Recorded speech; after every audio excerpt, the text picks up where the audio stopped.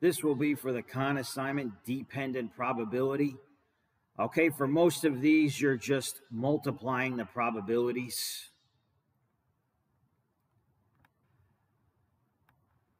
So it says in a class of 10, there are two students who forgot their lunch. If the teacher chooses two students, what's the probability that both of them forgot their lunch? So you're just multiplying the probabilities. All right. So I'll leave a blank space here for each probability. All right. The teacher is choosing two students. Okay. So the first probability will be for the first student.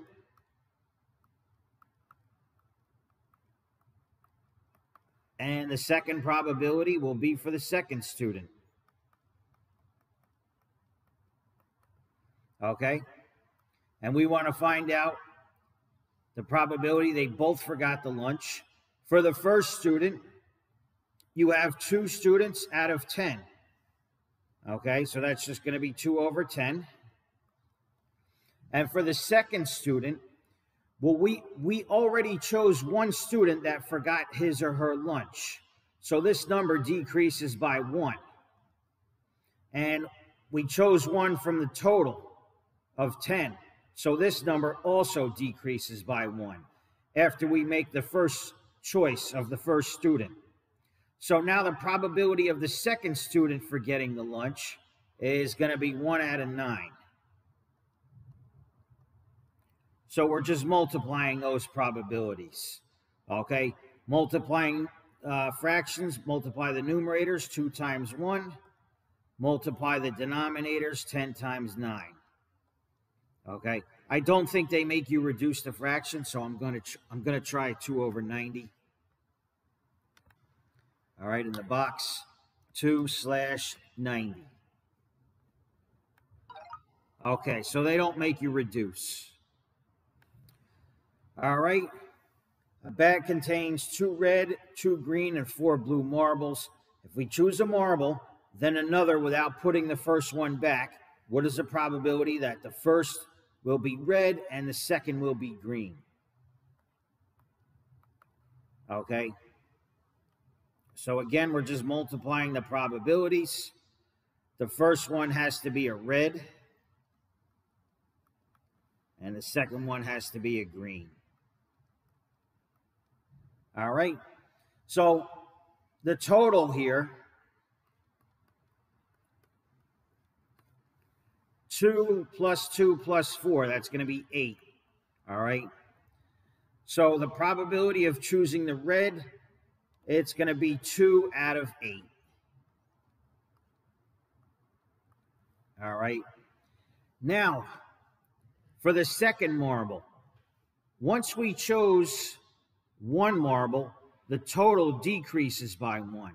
Okay, so we started with eight marbles, but we chose one already.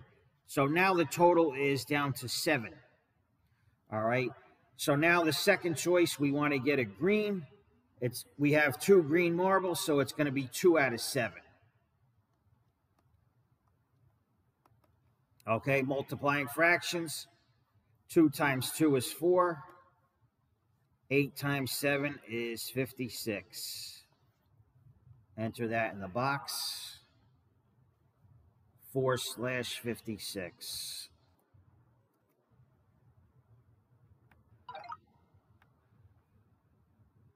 Some of these you have to read carefully. Okay? Captain Emily has a ship. The ship is four furlongs from the dread pirate Ashley and a merciless band of thieves. All right. That's unnecessary information. If her ship hasn't already been hit, Captain Emily has probability of one half of hitting the pirate ship. If her ship has been hit, Captain Emily will always miss. If her, if her ship hasn't already been hit, Dread Pirate Ashley has probability one out of six of hitting the captain's ship. If her ship has been hit, Dread Pirate Ashley will always miss. If the captain and the pirate each shoot once, the captain shoots first. What is the probability that the captain hits but the pirate misses? All right, let's see. So we're going to have two blank spaces again. All right, I'm running out of room here. So the captain shoots first.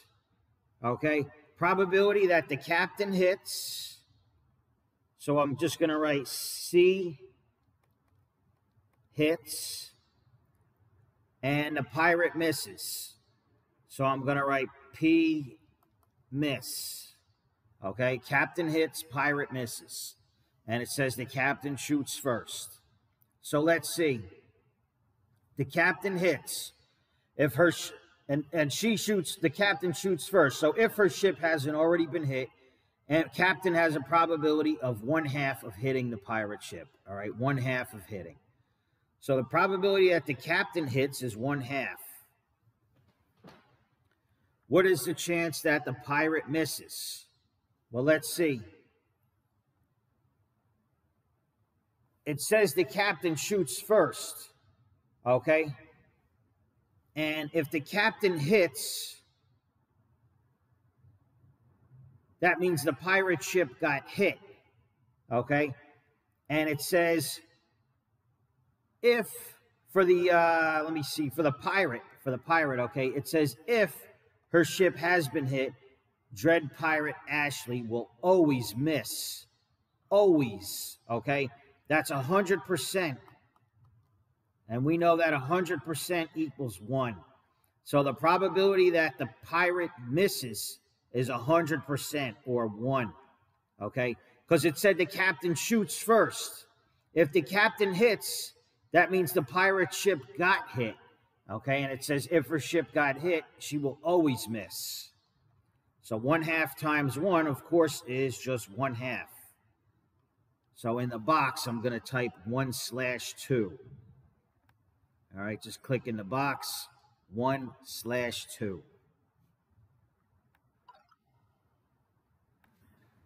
All right, class of seven.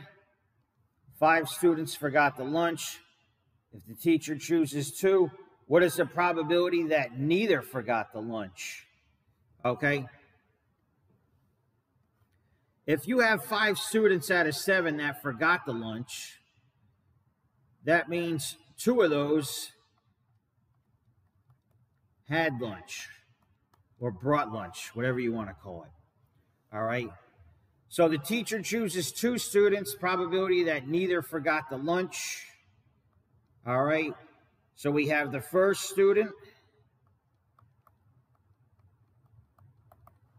and the second student.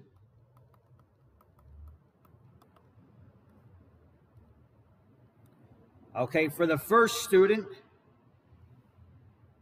it says neither forgot the lunch. In other words, in other words, both had lunch.